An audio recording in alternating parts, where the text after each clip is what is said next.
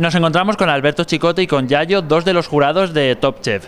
Contadnos, chicos, ¿qué balance hacéis de esta temporada? Balance positivo, no, positivísimo, ¿no? Eh, la verdad es que ha ido, ha ido a tope, lo hemos disfrutado muchísimo, creo que el espectador o vosotros también. Os quedan los cuatro mejores programas por delante con mucha, mucha emoción, con mucha, mucha cocina y eh, bueno, es que, no, es que me da miedo abrir el pico porque igual suelto algo que no debo, ¿sabes? Bueno, yo creo que las pruebas fueron absolutamente fantásticas, todas muy divertidas, eh, muy entretenidas y nos queda la traca final. Eh, y una pregunta para ti, Alberto, ¿cómo has visto a Yayo en esta segunda edición? Pues mm, no sé, súper bien, vosotros lo, lo, habéis visto, ¿no? Creo que él, aunque él decía que yo nunca lo percibí, que el primer día estaba más nervioso, la verdad es que lo hemos pasado súper bien. Susi, Susi, Yayo y yo creo que hemos hecho un, equipo que funciona muy bien, que además tenemos un, una serie de criterios que por un lado están muy en común y por otro lado nos complementamos muy bien a la hora de, de valorar sobre todo platos y, y vamos, yo me iría con él al fin del mundo. ¿Y tú, Yayo, cómo te has sentido? Pues fíjate lo que comentaba antes, en, un compañero, ¿no? Eh, el primer día, a ver, cuando, cuando nos iniciamos en esto de la televisión, salir de tu cocina y llegar a un plato, eh, es todo un poco. acojona un poco, ¿no?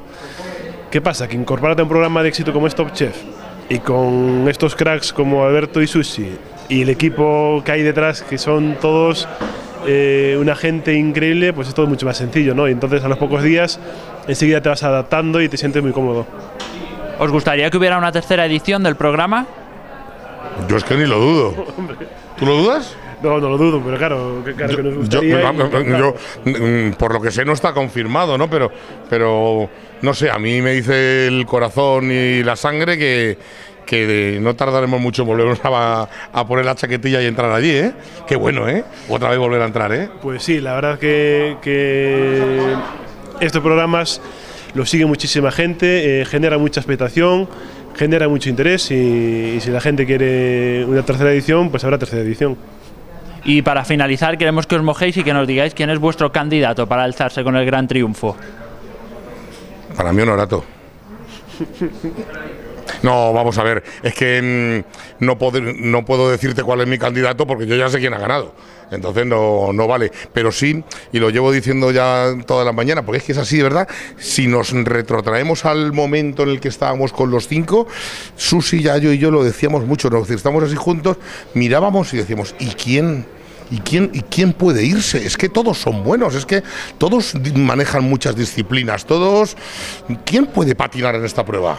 Y es que no había nada claro, porque cuando estábamos en otros momentos de programa, pues ante una prueba, no sé, de vanguardia técnica, por ejemplo, pues puede decir que algún cocinero muy clásico digas, uy, aquí no lo tiene fácil.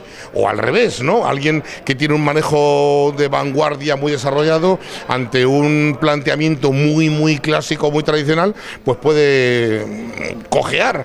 Pero es que tanto Víctor como Omar, como Peña, como David, como Fran, es que, es que son todo tipos que cocinan muy bien y que además no les hemos visto nunca acojonarse delante de ningún reto. Exacto. Eh, ahora los que quedan son todos buenos y sí que hay cocineros que, que a lo mejor están en esta parte final del programa que en los primeros eh, programas no contábamos con que estuviesen, o al menos yo dije, pues este me parece un poco, un poco más flojo, y hay otros que en el primer programa decíamos, hostia, este está en la final seguro, y, y, y que ya no están a lo mejor, ¿no? Entonces, cada prueba es diferente, eh, el programa va poniendo cada uno en su sitio, y, y en la final están estos cinco. Muy bien, pues muchas gracias y que gane el mejor. Eso será.